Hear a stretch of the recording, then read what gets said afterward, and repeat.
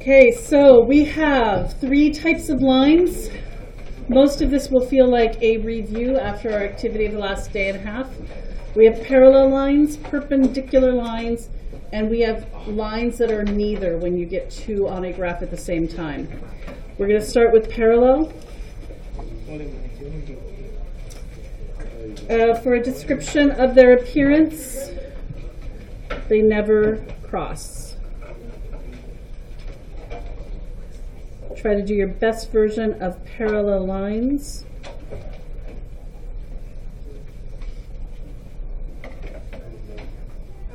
What is true about parallel line slope? It's the same. And what is true about parallel lines y-intercepts? They are different.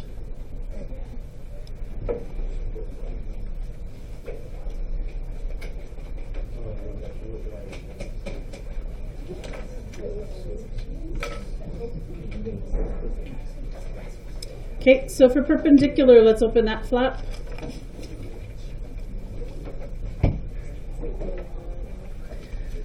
Perpendicular lines, notice I always put arrows on my lines. We're trying to show that they go on and on. Perpendicular lines meet with a 90 degree angle.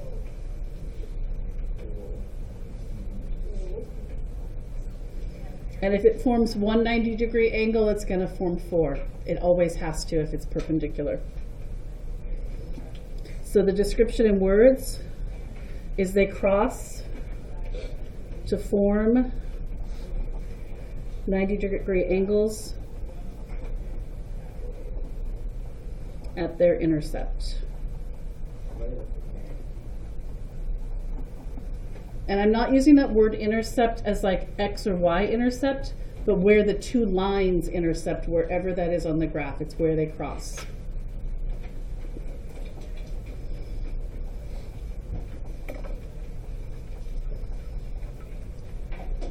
I saw you guys, there was a slope of three, and you were creating um, equations in Desmos that showed a reciprocal, um, not reciprocal, sorry.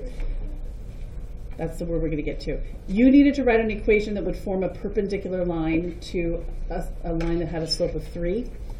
And I saw when it was a slope of three, you guys were putting in negative one over three.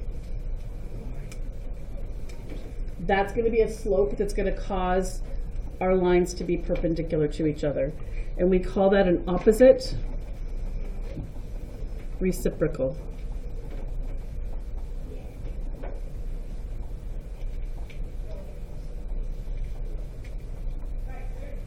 Whenever we have perpendicular, if we have a positive line, the other line is going to be negative. And it has to be negative in such a way that it's going to cross at that 90 degrees.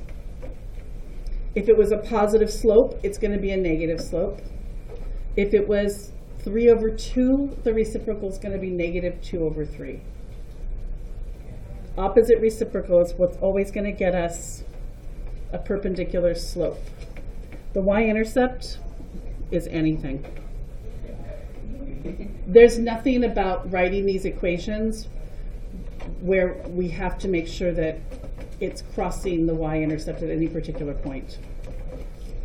Wait, I have a question. Ron said the n is 2 over 3. How do we write that in opposite? Okay, so I had a question that if the m, if the slope is 2 over 3, the opposite reciprocal would be negative 3 over 2. Oh, okay. The opposite means if it's negative, you're making it positive. If it's positive, you're making it negative. The reciprocal is you're flipping that slope. This one is 1 over 3 because this was 3 over an invisible 1. Is that clarified? Yes. Okay. So what happens when we have lines on a graph that are neither parallel or perpendicular?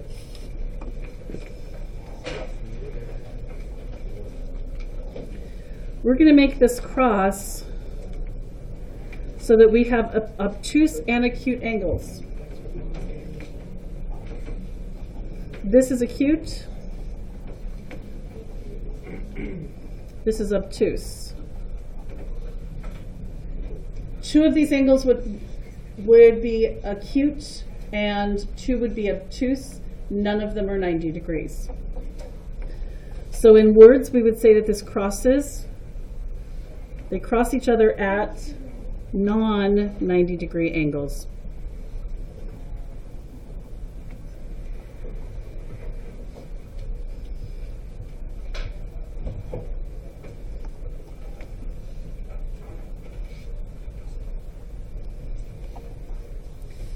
And what's true about the slope and y-intercept? Nothing really. It's just kind of, these are like random lines that just end up on a graph and don't really have any specific parallel or perpendicular relationship to each other. So we don't have slopes that are the same. They're not the same because if they were the same, we'd have parallel lines. And the slope is also not the opposite reciprocal.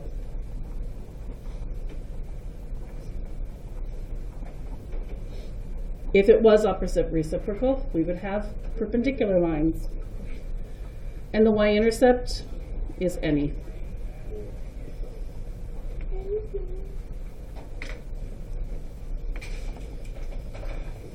So now I've got six sets of equations, I'm sorry, eight sets of equations, and eight graphs.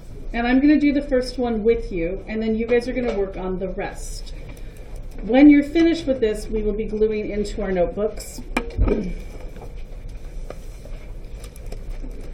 The yellow paper could get glued in as soon as I finish with this example, if you'd like. And here's how I want them glued in. They should be facing each other on your next two blank pages. Don't glue yet because we're going to be writing on this. I just want to make it clear where they're going. Okay? So, for first example here. First thing we want to do, because what, which equation do we find is the easiest to graph with? Slope intercept form. When it's in the form of y equals mx plus b, it is the easiest way for us to graph. So the first thing you want to do is look at these. Are these two in slope intercept form? What do you notice about their slopes? So what do you predict is going to happen when we graph these? Okay, let's see. We're going to start with plus 4. And that's my first point because it's my y-intercept. My slope is 3 over 1, so I'm going to go up 3, 1, 2, 3, and over 1. Is that going to give me a positive line? Yes. Am I sloping to the right here? And do I want it to be positive? Yeah, because this 3 is positive. I'm going to use my cutoff as my straight edge. You want to draw your line as far as you can on your graph and put arrows on both sides.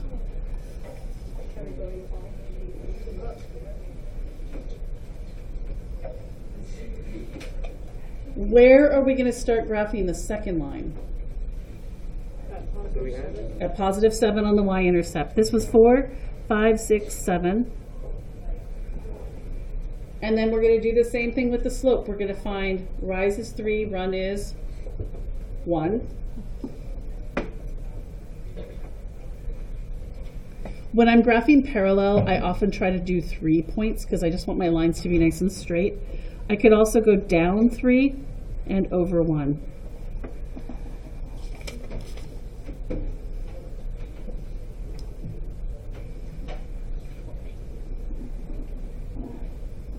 Oops, and my pen went off. Pretty close though. So the question is, are these parallel, perpendicular, or neither? Parallel. We're going to put here that they are parallel.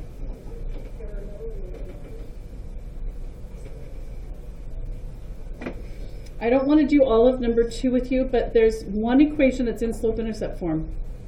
Could you start to graph this first one right away? Yeah, where's the y-intercept going to be? One, And is it going to be a positive or negative slope? What about this one? We don't know yet because it's not in slope intercept form. What's with the y right now? And we want to get the y by itself. How do I do that? Divide every part of this equation by 4. And I get y is equal to, what's my slope, you guys? One over One, four one x. over four. 1 over 4x plus 3 over 4. Well, what do I do with a y-intercept that's a fraction? Where would 3 fourths be on the y-intercept? Here's 0. Here's 1. Where's 3 fourths going to be? Just below the 1. This is kind of a small graph here, so you just need to estimate as best as you can where 3 fourths is between 0 and 1. So it would be about here. That means when you do your slope and you rise up 1, you're not rising all the way to 2. You're going to go to about here, and then you can run across 4.